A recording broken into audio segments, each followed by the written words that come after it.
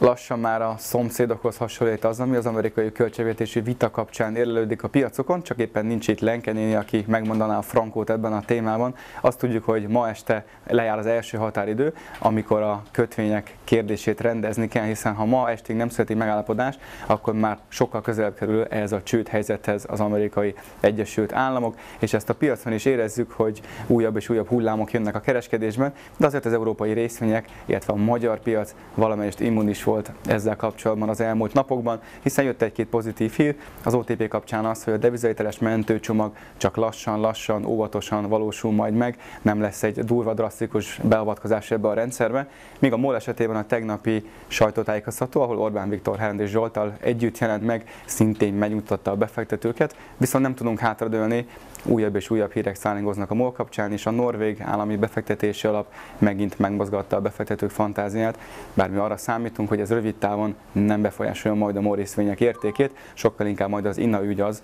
ami pontot tehet ennek a végére.